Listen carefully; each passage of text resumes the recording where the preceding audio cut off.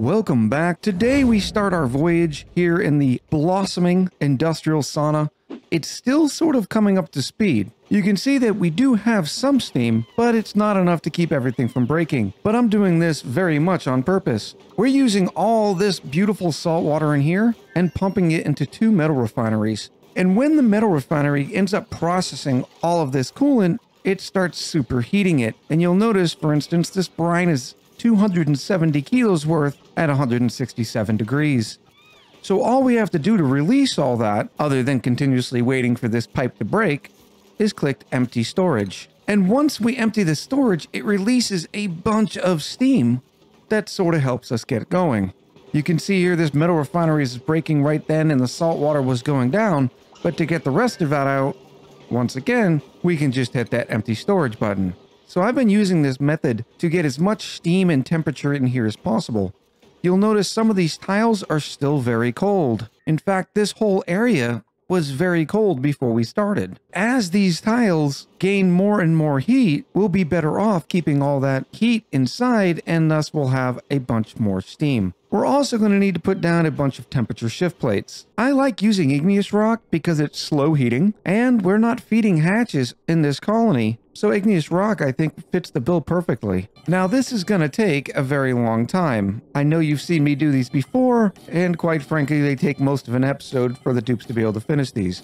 So we'll be working on some other stuff while the dupes are doing these in the background. Another good thing is because there's not insulation on the bottom or on the sides of some of this industrial sauna, we can back these temperature shift plates right up to the edges of the abyssalite. The abyssalite won't care, but it will definitely help us out in transferring more heat around the sauna. So the good news and the bad news. The good news is we have a lot of temperature shift plates in here.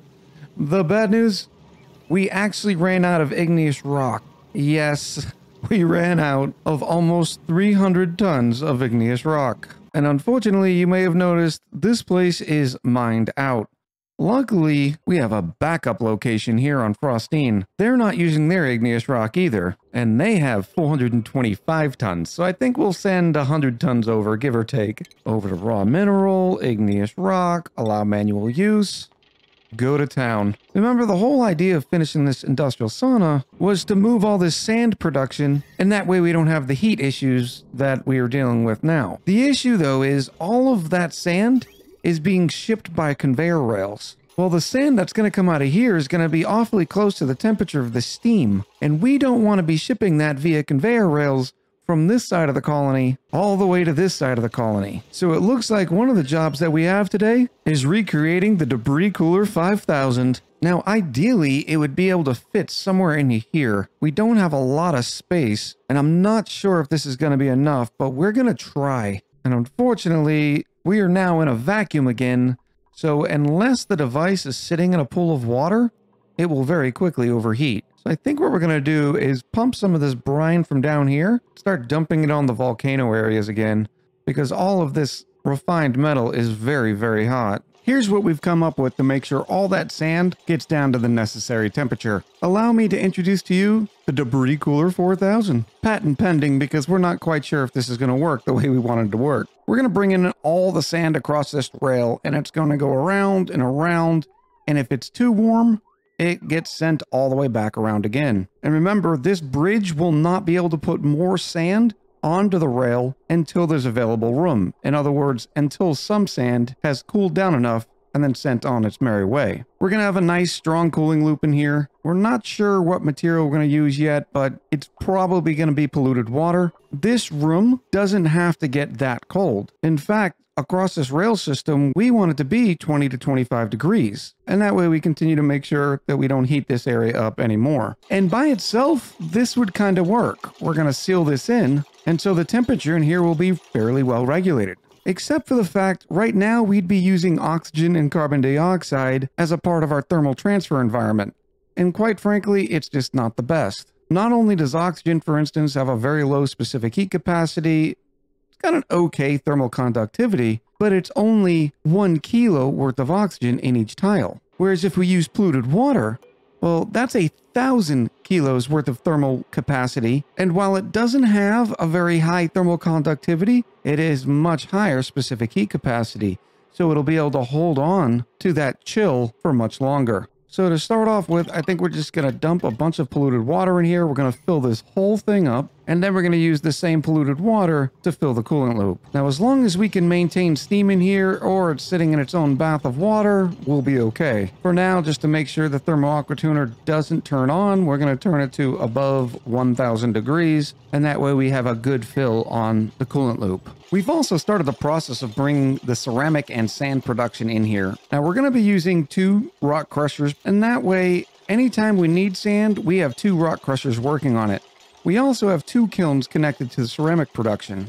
So whenever the smart storage bin is not full, it sends out a red signal. We then flip that to a green and activate the two kilns or in the Sam's case, the two rock crushers. The automation then turns on the kilns, which we're saying, hey, create ceramic forever using clay and coal, and then the rock crushers are going to create that sand from the ceramic. Now, the great thing is we're going to be bringing the coal and the clay in via these conveyor loaders. I think these positions work, and one auto sweeper is going to be able to handle all of the loading and unloading. Now the clay is going to be shipped directly from the oxygen center after the deodorizers turn the polluted oxygen into clay. So we're going to need to continue this rail all the way down and we'll bring it in just like this. Now the coal, if you remember, is going to be coming from our sage hatches.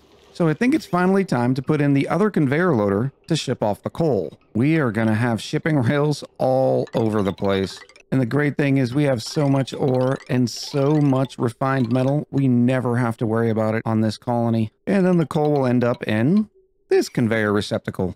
And the entire setup is only taking one run of conductive wire that's being supplied by this large power transformer. With our debris cooler almost full, I think it's time to start filling up the cooling loop. Easy enough, we'll bridge it on just the same.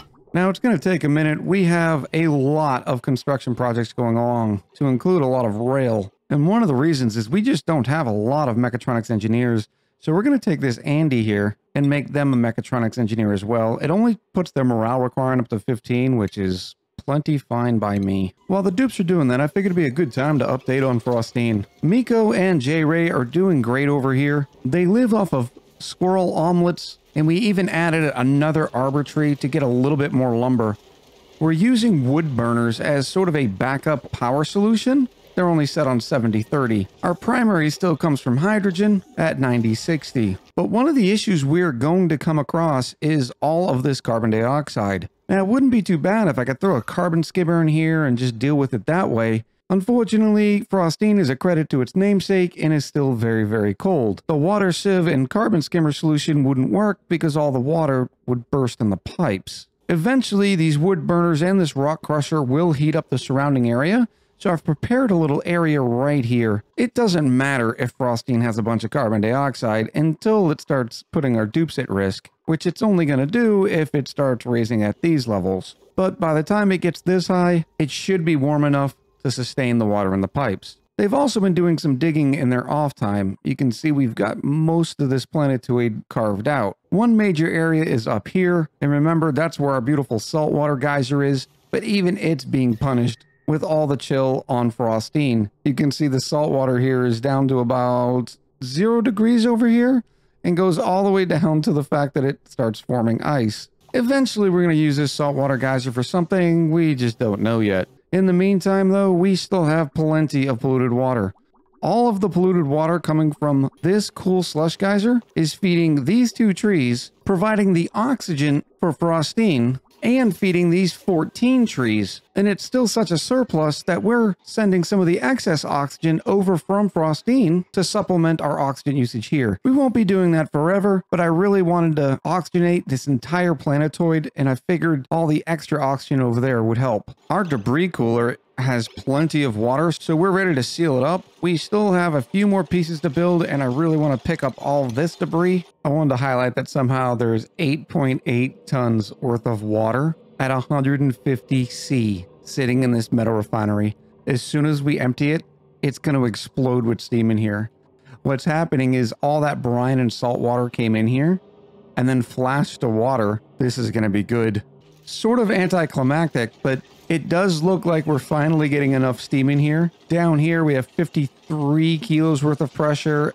Up here, it's still heading that way. That might have done the trick. And these temperature shift plates aren't going to stand a chance with that much hot steam. Well, it only took about an episode and a half. We have 16 kilos worth of steam pressure throughout this entire industrial sauna.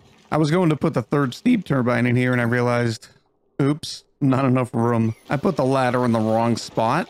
So we're going to move the ladder, shift over the steam turbines, and that way we definitely have room for three total steam turbines. Now we may not need them, but the empty space was bothering me, so I had this rail system sort of messed up. So I have to get in here and repoint that shutoff. I had it something like this, and the way you want it is the output of the shutoff continues the loop. So we want it somewhere like this. Now we're to have to move a lot of this around because I have to check the temperature here. This is what I get for doing things sort of ad hoc. So it's going to come in here and then we'll have it go out and filter all the way around until it meets back up with this point. Give me one second. After a quick rework, we have it working well again. I was sitting there stumped for a few minutes because it still wasn't flowing correctly, and it's because I had a rail in between the input and the output of the conveyor shut off. But now we have it set on if it's above 25 degrees, enable this conveyor shut off, and send it around in the loop. Now the idea is this thermal aqua tuner is going to get this water cold enough to where all this sand should drop in temperature fairly quickly. We're going to see because if we can't get the correct amount of sand output, we're going to have to change systems. I think we're going to help the thermal aqua tuner out a little bit by putting some polluted ice in here. Yeah, it's going to overflow a little bit and we're going to make a mess, but that a little bit of a chill will help this get where it needs to go quicker. So we just had a fresh batch of sand exit the debris cooler 4000 and this looks like it's going to work perfectly. The sand is coming in at about 96, 97 degrees. By the time it hits the top, it's at 70. So that means it's losing 25 degrees per rotation. So after just three rotations through the system, the sand will already be ready to send out. What's even better, even though we just got this online, we're already starting to get a backstock of all the sand. I mean, you can see here there's more sand coming and we haven't even used all the sand from the last shipment.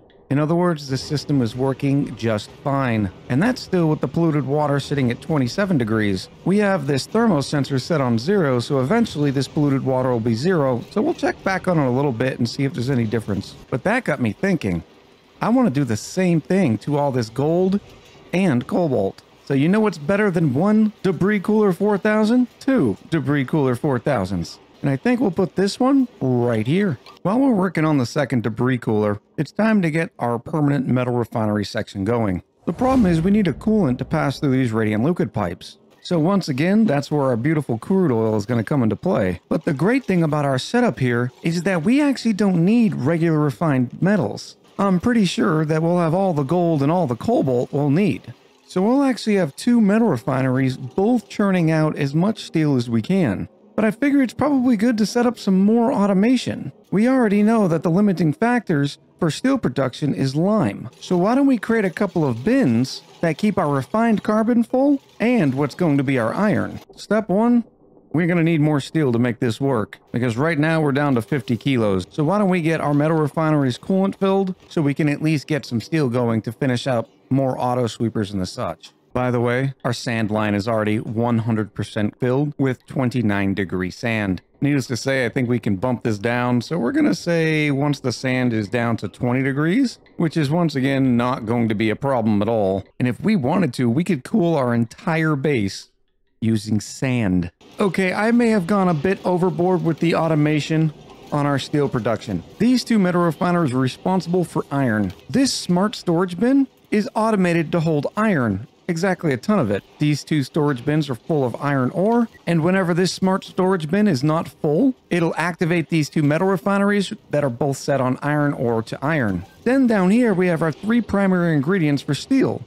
Both of these metal refineries are set on steel, forever of course, and this smart storage bin is set to hold 20 tons of refined carbon. When it doesn't have enough refined carbon, it activates this kiln, whereas this auto sweeper takes some coal and throws it in the kiln. Well, here's where it gets even more beautiful. We're getting all of our coal directly off the line that we're using to create ceramic. And since we're at it, we took a leg right off of our sand and are automating glass production as well. Well, as soon as I put this NOT gate back in. But it'll take sand right off the line and keep beating it to this glass forge as long as this smart storage bin is not full of 20 tons of glass. So there's glass, iron, refined carbon, steel, ceramic, and sand production 100% complete. And needless to say, now we have enough steel to finish off this debris chiller. And we also need to provide some cooling for these steam turbines because, you know, bad things are happening. The great thing about this system is it's producing a lot of heat. You can see down here it's 185 degrees. So why don't we start with the thermal aqua tuner to cool down the steam turbines and get that loop going. It is absolutely wonderful to have an infinite supply of gold. I highly recommend it. And considering it's one of the best for radiant liquid pipes and the such, we are definitely living high on the hog. There's those two loops. We'll get them finished being built, and then we'll throw some of our excess polluted water in there, and then we're going to be able to automate the chilling down of all this beautiful gold and cobalt. I noticed this sand was sitting at 13 degrees, so I want to demonstrate how effective this system is. So we're going to put a conveyor chute right here just for temporaries. Actually, never mind. It looks like we're due for a run of sand anyways. This sand is coming in here at 142 degrees. Let's watch it go around. And right before it gets to the end, it's now at 63. It's losing 80 degrees worth of heat in one run. The polluted water in this tank is sitting at 0.7 degrees. Another update on Frostine. Our carbon dioxide is getting to the danger level.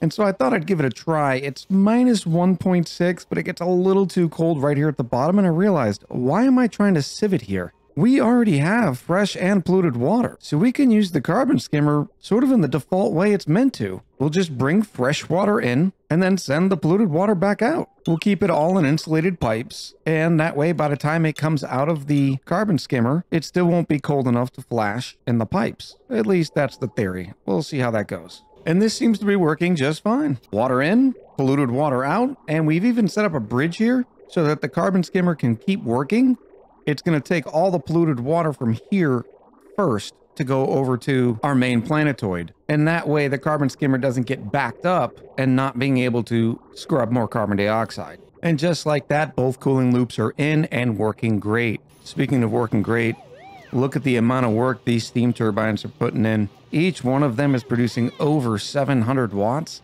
This one, because this gold volcano is going off, is producing 840 watts. It is 202 degrees down here. We're going to have to keep an eye on it. Maybe we'll add another steam turbine because our max temperature for most of the equipment is 275. I don't think it's going to be a problem. Right now, well, maybe a small problem. We were producing so much steel that the oil that we're using as coolant flashed to petroleum. That's okay. Now we're just going to add the petroleum right back into the coolant loop.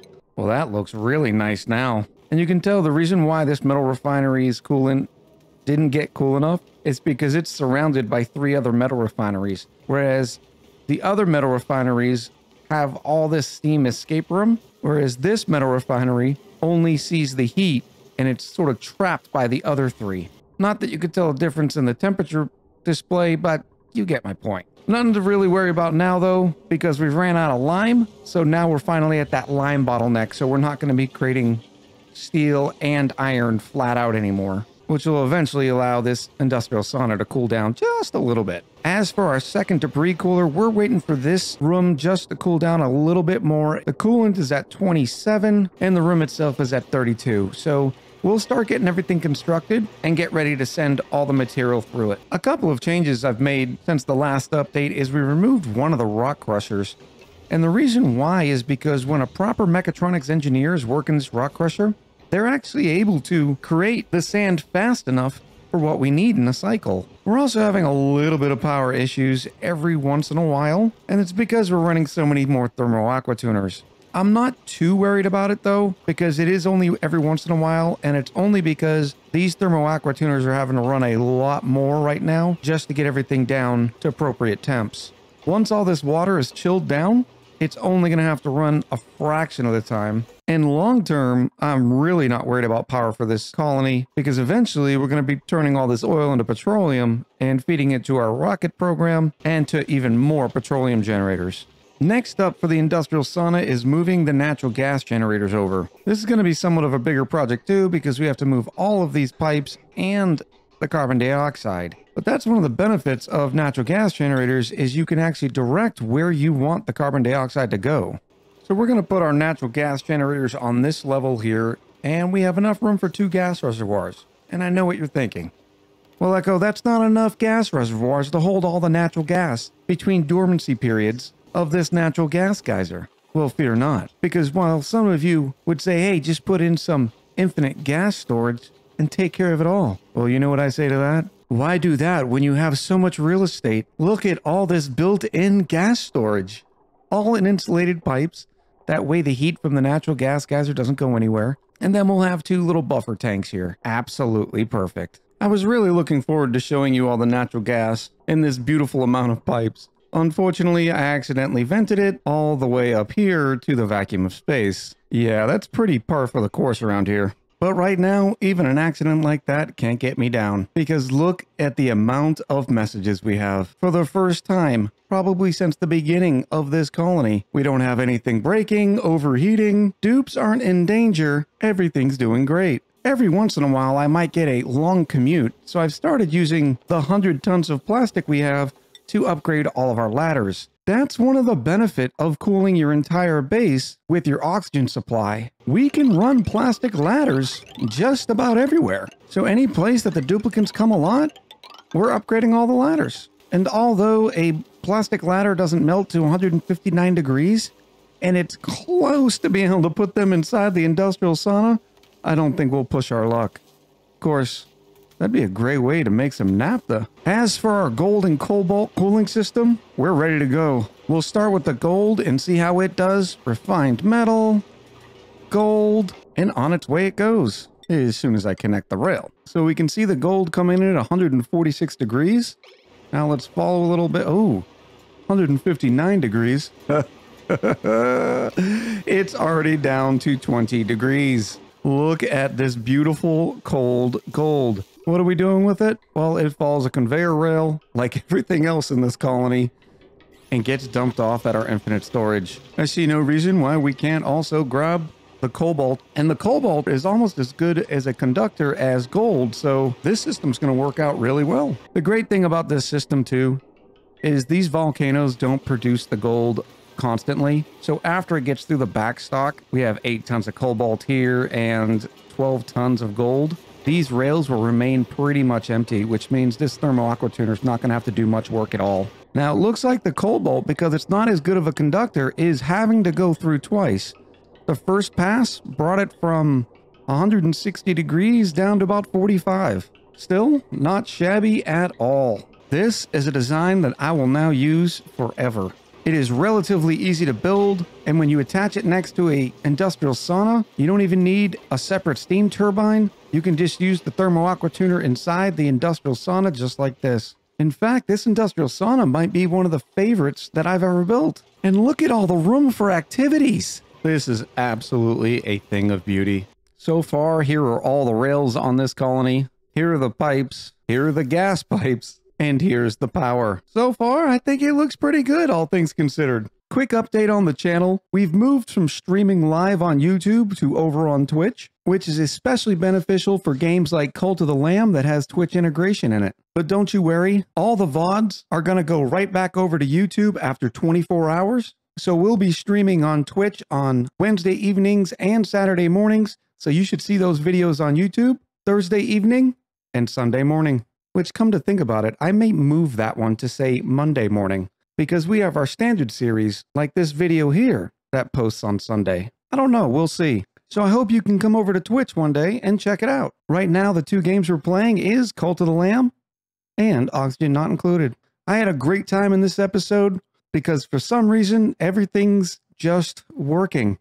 I can't explain it either. I look forward to hearing what you have to say in the comments below. I do read them all. So until next time, I'll talk to you soon.